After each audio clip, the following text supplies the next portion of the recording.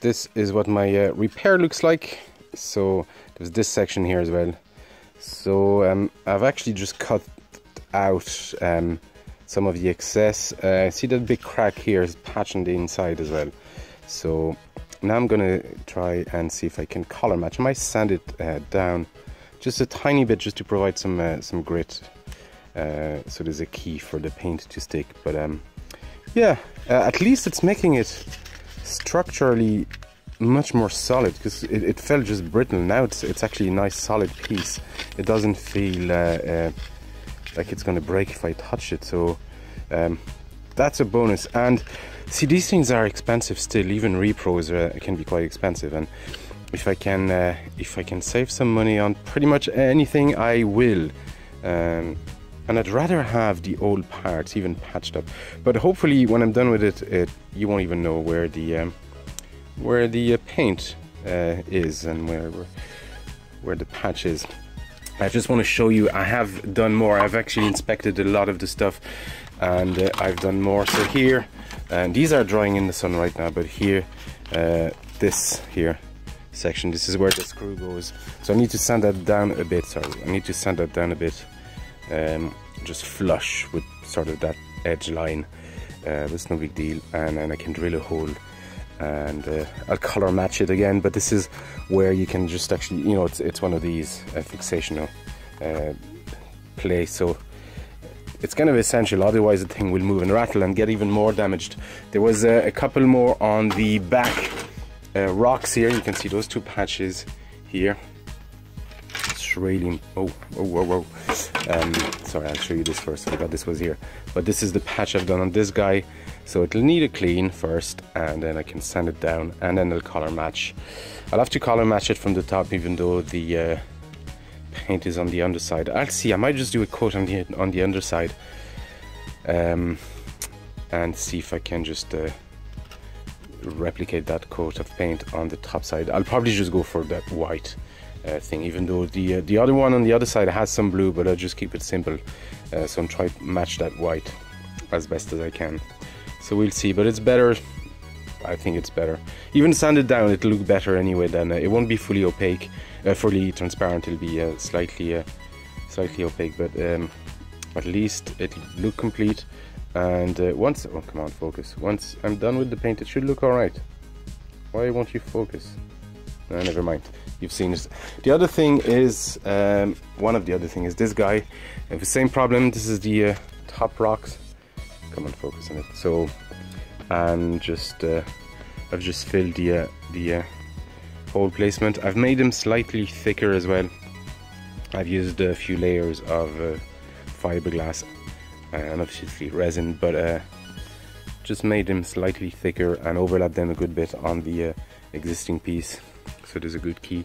And uh, yeah it'll provide some uh, structural integrity and I'll be able to just put them properly as opposed they were just sitting on top of the uh, of the pinball at the end. It's the back of the pinball but they were just sitting there. So they won't rattle anymore. I'll be able to uh, fix them properly.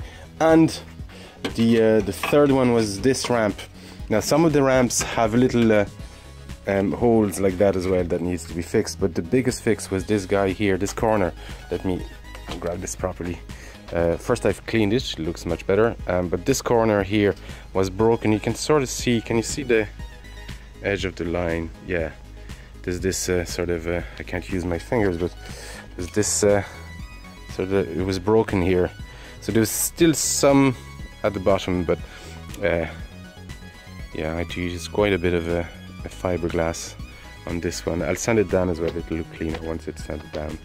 Um, but it'll look better anyway than a big broken one and I, would rather do with a, a patch than uh, leave it broken or buy a new one. Again these are expensive. Like if I had to buy all these again because they were slightly broken it would cost a fortune. The other thing with this guy is uh, these ramp flaps. So I posted a message uh, on one of the uh, online Facebook groups. Um, I didn't know what they were called and I couldn't see them in the manual. These are called ramp flaps but as you can see it's badly badly rusted and corroded.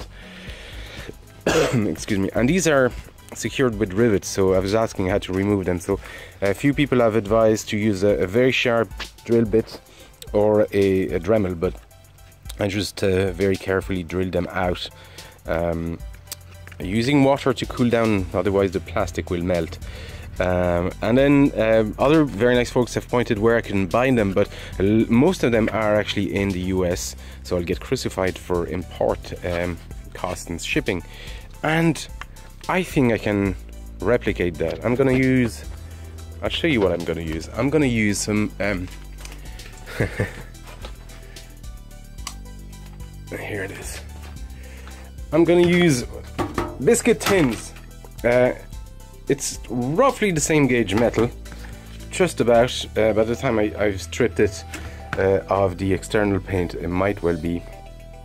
Uh, even that I, I, will sand it anyway just to clean it and then I will gun blue it so I'm going to use this this section here because it's the flattest and I'm pretty sure I can make new ones out of that and again probably save 50 quid on just importing and buying the pieces and etc etc I'll use small standard rivets and uh, we'll see we'll see if it works.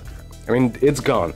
So I've nothing to lose by trying it. If it doesn't work out I can I can buy you know ones from the internet. But I want to try that first because again it's about operating on a budget here and uh, and sometimes it's just silly paying silly money for silly little things. So let's uh, well, let's let's look after our our. You can see the difference in in color, but it'll uh, it'll sand a lot clearer. Anyway, uh, let's keep working. All right, that's uh, it off. A couple of things here. So I wonder. Uh, I was careful. I did go slow and. Uh, I used some water just to cool it down, but I wonder if, if it heated the plastic and just because uh, the metal heated up and probably just melted the plastic around it. I'm not sure. I wonder if it's like that anyway. Um, regardless, like, it's not a big deal. I can patch that again with fiberglass and then re-drill a hole here. So we might need to do that. And what I can do is just have a, a piece of fiberglass on the underneath here. I can see there's a, it's a crack that I hadn't seen and uh, the crack runs along here so it might need to be patched and fixed regardless so yeah um, to, just to make it stronger. And while it's out here, I might as well just fix that. So uh, we'll do that. We'll just patch this guy and uh, probably patch this hole and re-drill it to this size. Uh, just to be on the safe side. And then I can cut out uh, my piece of metal out of my biscuit tin and uh, we'll patch this make a new one. Um, I need to get some rivets as well. Right, there you go. So this is the piece here that actually broke. It, it disintegrated actually as soon as I took it out. But this is the piece. Uh, I made just a template copy of it of sorts. Uh, it should be exactly the right size if everything's right. So I, I just cut it with the, the angle grinder here and uh, out of this piece and then just sand it down uh, both sides just to clean everything. Um, give it a, a quick polish. I'm gonna give it a, a clean now with alcohol, uh, just to, and probably acetone actually, just to get all the stuff off. And then uh, I have some gun blue on order. So gun blue is one of those things that blackens your um, your uh, uh metal, and uh, I needed some anyway for other projects. So um, I'll, I'll, use it for this, uh, just to blacken this guy. Um, try and match it as best as I can and then so this is slightly more rigid but it's still flexible so it should it should work on this you know it'll yeah it should work. Um, I might I might sand down the edges a bit just to make it more flexible. Um, this is paper thin almost but hopefully it'll work. So I'm gonna mark where the holes should go as well uh, here and then I'll match that onto the ramp and see where the holes for the rivet then go. Um, in this order but uh, for now, I'm going to put this to the side uh, and uh, and move on. I was just going to show you. I had my uh, I had this guy out. Um, just my uh, well, it's a big kind of angle grinder thing, uh, but I'm using it for as a sander, and I've used grits of it was 600, 1,200, and 2,000 grit uh, to polish the uh, the flap there, but I also used that on the uh, the balls because they were also rusted and pitted and uh, well, if I may say so myself, and I am saying so myself, they are. Uh, they came out quite nice and clean. There's still a few marks here and there, but I'm to be able to reuse these. You can see some of the, actually it's more visible if you leave them here, some of the marks, a few blemishes here and there. But actually this was the worst affected, you can see some of the black marks. But I think they came back quite nice, so do you know what, instead of just buying any set, I'm just going to see if I can reuse these. Um, technically, technically it's taken a tiny bit of material, that's what happens when you're polishing, but not enough really to, uh, to for anyone to notice the difference. Although I'm sure somebody will tell me that they can notice the difference, but I know I won't because I'm not that good a pinball player anyway. But instead of buying a new set, there you go, I can reuse the old ones. For um, just reference, these were the old ones that uh, I didn't have all this uh, polishing grit and all that kind of stuff uh, when I did the other pinball. Um, so I sanded them by hand with uh, wire wool, and uh, this uh, came out like this. So much more effective to use an angle grinder. Alright, so I've been trying to color match this thing. I've, I've, finally sanded everything down, and as you can see, it's quite well, somewhat flush and level. I, I don't want to risk taking off uh, some of the original plastic. Come on, focus. There you go. Uh, as you can see, yeah, it's been scratched already. It's funny, I can see it with the lamp. Yeah, it's because I'm flashing light on it at a certain angle. Those scratches are fairly visible here. They're not quite in real life, actually. But, um, uh, so I've sanded down and I've painted the side. I think this is uh, as clean as I'm gonna get it. So this is actually what it looks like. Uh, the issue with those kind of dark blemishes here is because, well, when I was working on the on that um, that uh, resin, my uh, tools and fingers were probably not that clean, and uh, it it added some impurity. Um, I'm gonna have to live with that or, or redo it entirely. But you know what? It, I think it's better than a big chunk of it is you know being missing. So I am gonna live with that. I'm happy enough as it is. Uh, I might do another coat on the underside uh, just to make sure that it's it's nice and opaque and somewhat uniform. But yeah, it, it doesn't look too bad. Uh, it'll be it'll just be noticeable as a blemish on uh, on the pin once it's back in the pin. And well, this piece and uh, the equivalent piece on the other side, it's just actually that section here. They go for about 35 as repros, you know. Uh, so original would be would be much more expensive, but even as a repro, it's 35 euros, uh, uh, 25 euros. I think is the cheapest I found it, plus shipping, of course. So it's probably 35 euros altogether. Um, I'd, I'd, rather use that money for something that is thoroughly missing, like one of these uh, noticed on the uh, other side of the pinball is entirely missing. There's a, a bit of a stain here. There you go.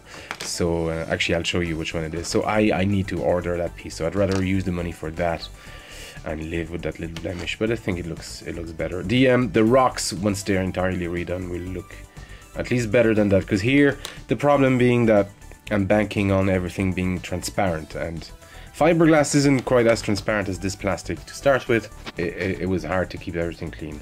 So there's absolutely no reason for me being here other than to tell you that that's it. That that's it. That's the end of the video. It's it's it's over 12 minutes and uh, 12 to 15 minutes is what YouTube seems to be telling us that uh, is the appropriate size for videos like this. So let's end it here. You, you'll see the rest of this video in the next one if if, if it's the way it, pans out. I don't know. I'm I'm recording these randomly like wherever I see uh, unfit and inappropriate so of course find me on Facebook Twitter Instagram all these platforms. There's a Discord Discord Discord. There's a Discord server if you want to chat and there's a Patreon page as well if you want to help the channel. Um yeah